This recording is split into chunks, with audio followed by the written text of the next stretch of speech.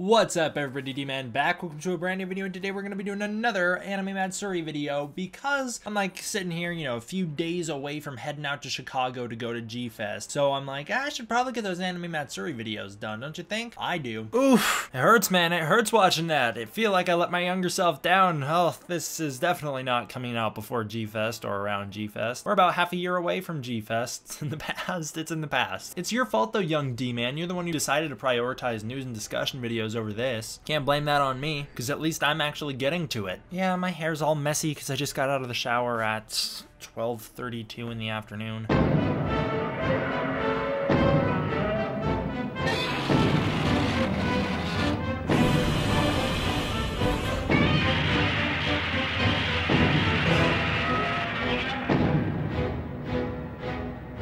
So we're going to do another Anime Matsuri video. Unlike the last one, this isn't going to be a day-by-day -day breakdown of what happened when I was there. This is going to be fully focused on the Godzilla store. And it's not going to be the only video I do on the Godzilla store. They've had me film a slightly more official video for the Godzilla store that I will upload later once I get that all put together. But at the moment, it's like, this is what we're working with. This is my vlog version of it. This is the unformal version. So the Godzilla store is going to be the focus of this video. There's going to be some other things that I touch on very briefly in this video that I'm not going to get into until I do my convention video about Friday, Saturday, Sunday at the convention and all that good stuff. All right, let's talk about the Godzilla store. We'll pick up where I left off in the last vlog. On Friday, I wake up nice and early and head down to the Godzilla store. Well, actually, we head down to the convention. It's our first time going to the convention. It's at like 10 in the morning or so, somewhere around then. We enter, and already I know Godzilla store. That's the focus. That's what I'm here to see because I was under the impression that the Godzilla actors weren't going to get there till like 3 p.m., so I didn't think they were going to be there. So I was like, mm,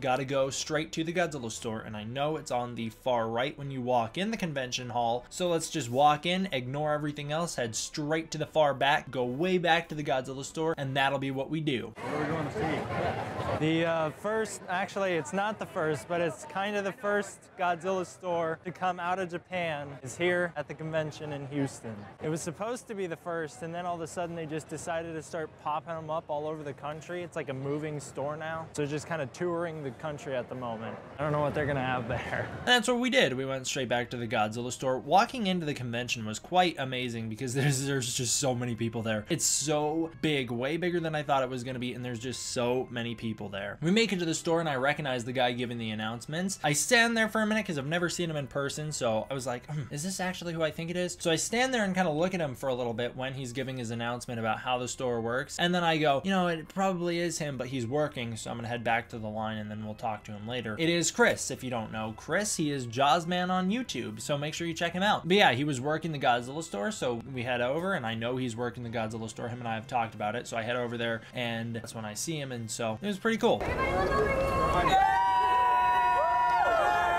So I head to the back of the line so that, you know, I can wait to get in because I'm not going to cut the line. I don't have that big of an ego. All right. So I'm heading to the back of the line and immediately I get recognized by AJ. Shout out to AJ. Hey. What's up? Hey. I don't know if you know me, but I'm AJ Brown. I um, messaged you earlier on YouTube on your past Godzilla video when you were saying you're going to come here. I, I, don't remember the name, but I probably remember the profile picture. Yeah, it was Jason Voorhees. So good to see you here. Oh, it's good to see you too. my favorite YouTubers. Nice to meet you. Nice to meet you too. You're in the video now too. Yeah. All right. Well, Can't wait to see it's cool seeing you, man. And this kicks off the trend of every time I'm near the Godzilla store, someone recognizes me. It was so overwhelming for me. It's like, I can't imagine what G-Fest is gonna be like because it was just already, you know, I'm like socially awkward around people who know me from YouTube. I can talk to people. I'm not like socially awkward around people, but I'm socially awkward when I'm like not expecting to be known, you know? I don't know. It catches me off guard, and so I find it to be just kind of overwhelming, and so I don't know how to respond to the situation. It's not like I don't know how to speak to people. I speak for a living. This is my job. I do it for a living. I talk to people. I can talk to people, all right? I'm not that bad. I will talk more about all the people that I met at the Godzilla store when I do the convention video, but I wanted to give AJ a special shout out because he was the first person who noticed me, and he noticed me right away when I was heading to the back of the line, so that's pretty sweet. You know, me and my dad, we wait in the line for like 45 minutes. It's a grueling wait, but we are waiting next to this awesome banner. The way the Godzilla store was laid out, they had these two walls, kind of. They're like tarp walls, I don't know. They had these two walls. One of them just said like Godzilla Godzilla Store Tokyo. The other one was a big Godzilla banner showing Godzilla breathing the atomic breath. Really cool. So we got to wait next to that, which is like, there's worse things to wait next to than an awesome picture of Godzilla. So we're waiting in line forever. I meet Mark in the process. He brought a car to the convention. Again, we will talk more about that when I do the convention video. We make it to the store. It's my first time checking it out. I have met Chris by this point as well. He ran to the back of the line once he knew I was there. So I've met Chris by this point as well. And that kicks off my introduction to the Godzilla Give us some commentary. Oh, shoot.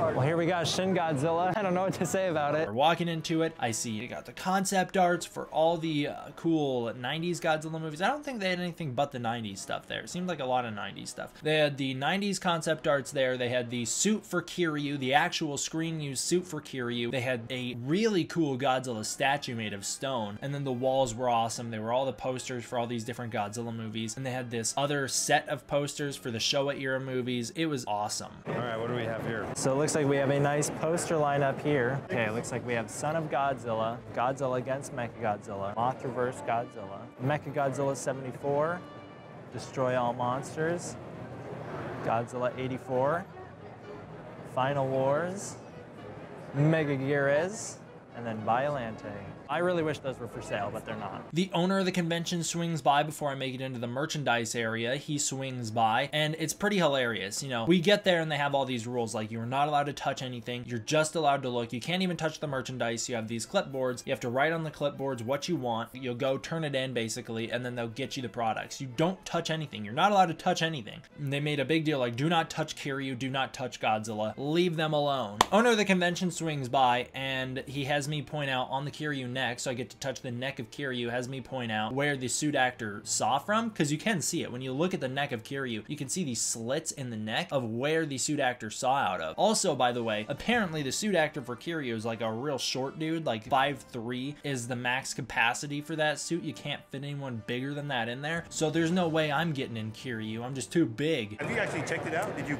mess with it? I didn't. You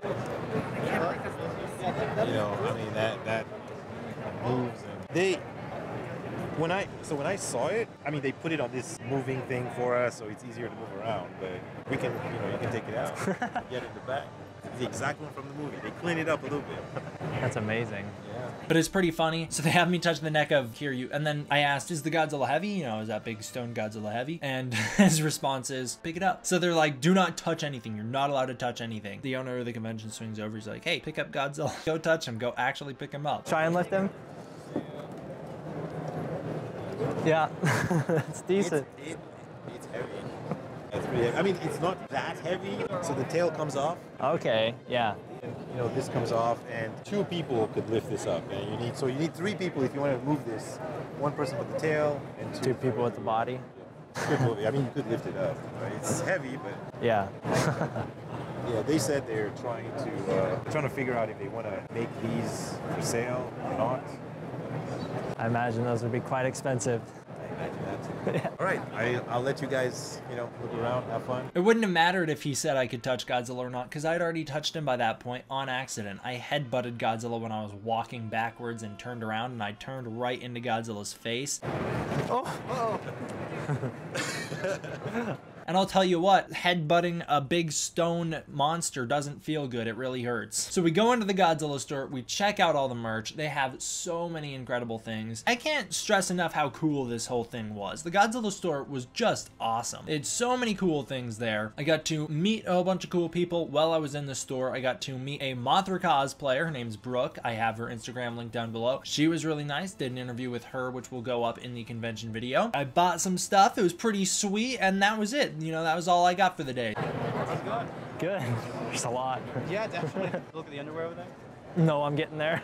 Yeah, I'm definitely gonna have to grab him. Uh, Mothra and Rodan. So I hate that Yeah, I Rodan. I hate it so much. I'm definitely gonna get that Godzilla and Ghidorah though. Of course. I have a question. How tall are you? Six two. 6'2". It was like, when I first saw you, I was like, holy cow. Like, it was very overwhelming.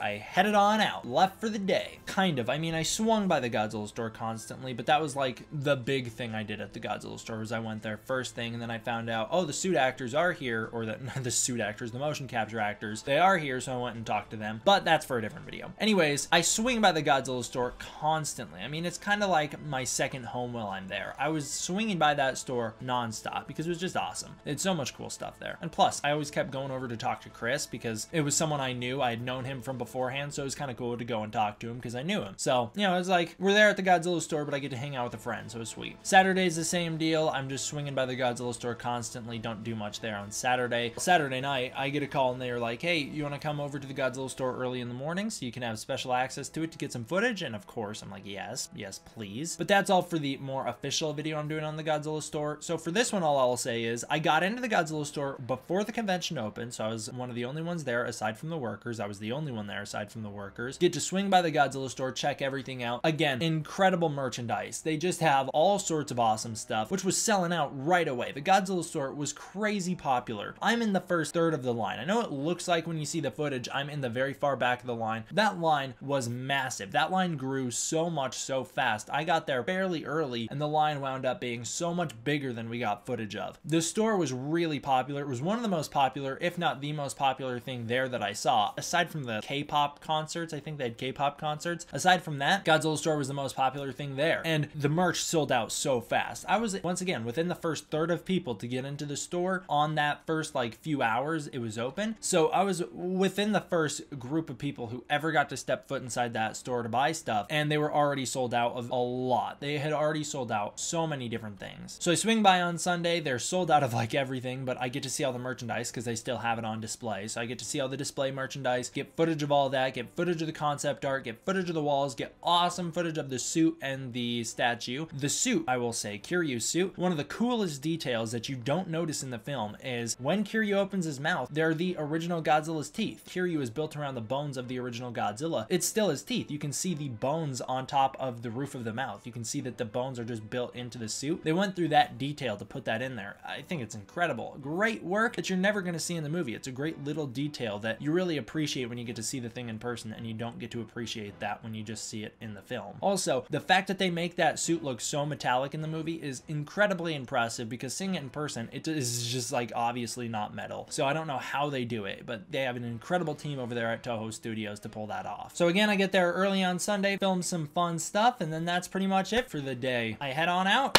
And that does it for the Godzilla store. Thank you guys all for watching. I hope you enjoyed. I will see you guys next time. D-Man out.